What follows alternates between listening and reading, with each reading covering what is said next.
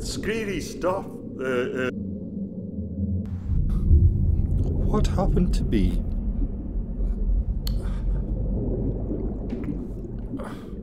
I, I'm struggling to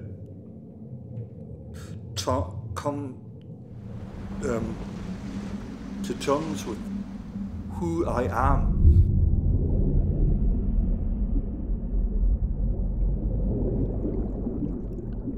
I was standing beside him, frozen to the spot. He's deep in a coma, and it was clear that his life was ebbing away. I would go up close to his ear and say, This'll pass, you know, love.